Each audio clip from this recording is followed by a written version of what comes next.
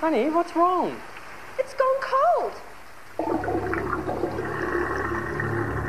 Avoid the next chilling episode.